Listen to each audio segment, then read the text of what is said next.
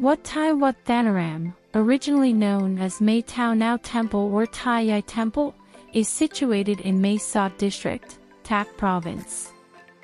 This temple, over a century old, is distinguished by its golden temple and Viharan Mahamuni, alongside notable structures like the Golden Swan statue and Ko Nawin Chedi, all constructed in a striking Burmese architectural style.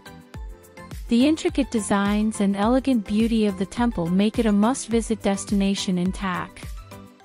The temple was founded in 1857 by Mr. Mung, a Burmese immigrant from Shan State who moved his family to Mae Sot district and was appointed as the first village chief of Mae Tao village.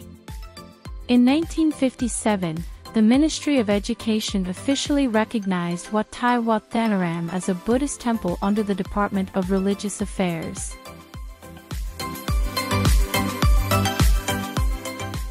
Inside Wat Thai Watthanaram, numerous captivating buildings await visitors.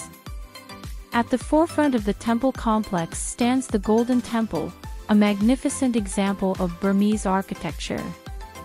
This temple is flanked by large golden lion statues and lined with golden swan pillars on both sides of the walkway, creating a majestic entrance.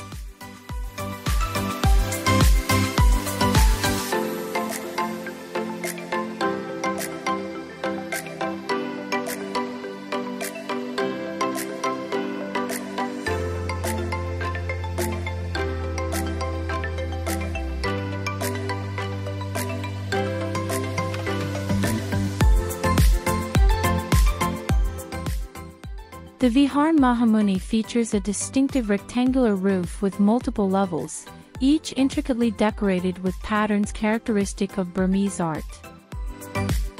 Inside this Viharan enshrined Phra Buddha Mahamuni.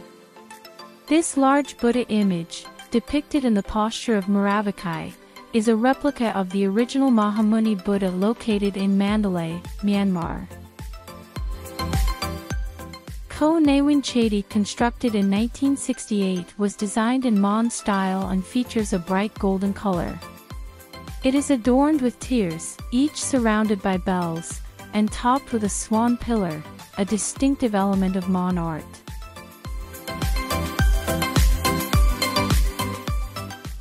At the back of the temple there is a big reclining Buddha approximately 40 meters long enshrined in an open-air sanctuary.